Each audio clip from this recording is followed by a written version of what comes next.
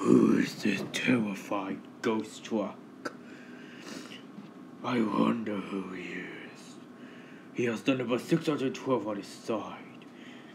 He appears everywhere in Equestria. Find out which who is this ghost truck, and when its story is revealed.